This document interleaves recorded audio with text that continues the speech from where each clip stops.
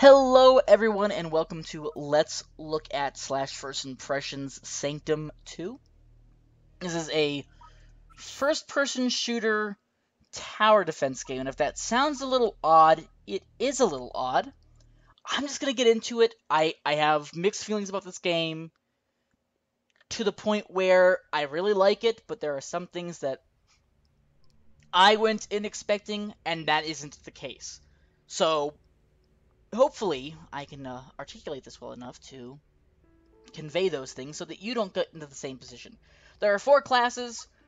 There's really no name for them. Skye Autumn, Sweet Autumn, Simo, and Haigen Hawkins. To put this in a MMO kind of sense, Haigen Hawkins is our tank, Simo is our sniper, Sweet Autumn is our area of effect DPS, and Skye Autumn is kind of concentrated DPS. They're, I mean, they're all DPS, so Skye Autumn is really mobile. She gets a double jump and has her assault rifle, which is really cool. Simo's the only class I haven't played with, and I, I think actually will go in with him. So here's our character select screen, and I'm going to change my skin because I like that a lot. Uh, so he gets a sniper rifle. I have not used it yet, and we're going to put the battle rifle. You can obviously change your weapon loadout, which I think is really cool. And at the same time, a little quirky, and I'll get to that. We can choose our towers, so we're going to choose our Gatling Tower, a lightning tower, which is a kind of AoE, and the area mine. We unlock more tower slots and more towers by our rank. I'm rank 5, so I have 3 towers. I've unlocked like 5 towers. We also unlock perks by our rank. I'm actually going to go with our hollow point rounds. It's basically a critical attack. So, without further ado, I think we're just going to get into this. 100% charged. Time to kill. So, I like the aesthetic. I my my my complaints are this. As you guys saw, I picked up some things which were the credits and our tower bases. The tower base will allow us to block off enemy movement, which it's basically like a wall, which I think is pretty cool. My my first complaint is that this is a multiplayer game as well as a single player game and you only get one drop of tower bases, and it's usually a number of two or three, and one drop of ammo slash currency, whatever you want to call it, which is to build the towers. If you have a teammate who isn't particularly feeling like being a teammate, you are SOL. Which then goes into my next, and my only other problem with this game is that I went expe in expecting this to be more tower defensy than it is there maybe it's just because I'm on the lower levels, but it doesn't really have a lot of tower defense. I have no idea what that was. So, the other thing, the quirky part that I was talking about, is obviously we have our first-person shooter aspect. And you will see me changing out my gun, and that's because we have no other option. The way you play this game is actually by changing out your gun as often as possible.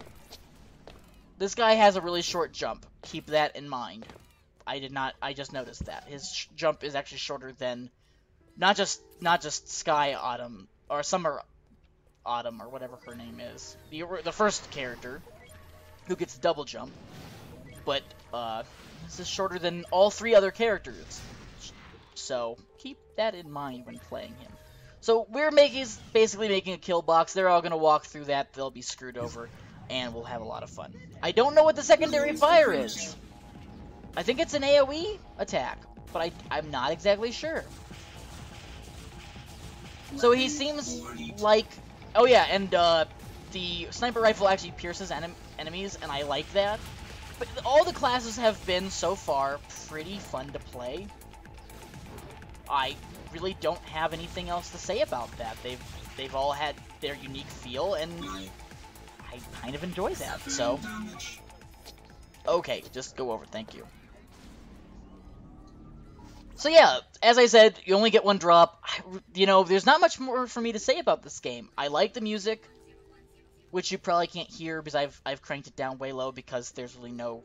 That, that I guess that's a secondary complaint. The, the sound control in this game is eh, not so great. It's either super really loud or super really not loud. So we're just gonna go. Defensive mode activated. I don't know what the secondary mode is, and that's unfortunate. I wish I did. Because I'm using it, and that's, you know, kind of foolish of me. So, this game really rewards you for using everything you have as fast and as much as possible. And as I said, that that's a that's a quirk that I really like, but at the same time, I it's kind of making me not know how to feel about this game. Not enough resources. What do you mean not enough resources? You crazy robotic person, you. So this is our core. This is obviously where they're trying to get to. Uh, I'm not going to let them get to it to demonstrate what happens, but they'll beat on it for a little while. In that regard, this is a very traditional tower defense game. And, again, that's not necessarily a problem. I like. I, I like traditional tower defense games. I, I am a big fan of the tower defense genre, in fact. So yeah, it seems like that's just a far range attack. I have no idea. I probably could have read it. I really like the attack animations that the enemies have. I like the enemy attack patterns. They're all pretty cool. It's it's kind of like Orcs Must Die 2 in the, the effect that you are dependent on the class that the quote-unquote class that you're playing.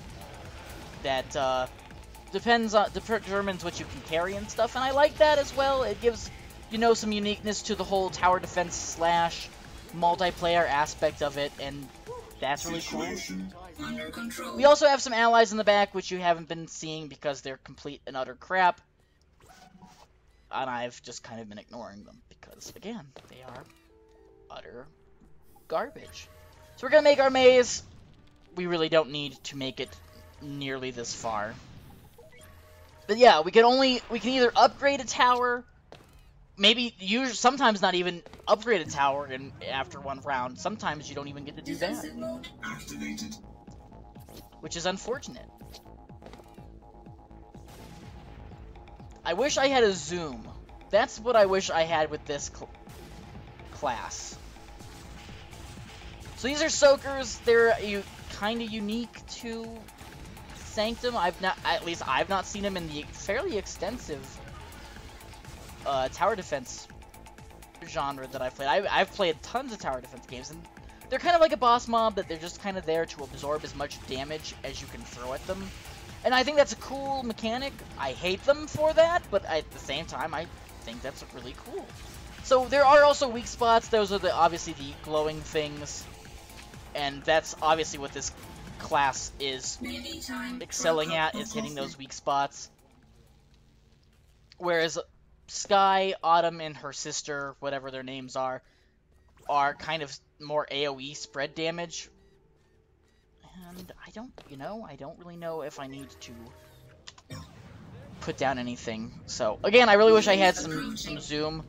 The glowing yellow things are the weak spots and I that's pretty neat. Obviously, this character excels at accuracy, and it's nice to have a class like that. To be completely honest with you, I really would like to do some multiplayer in this, and I may off camera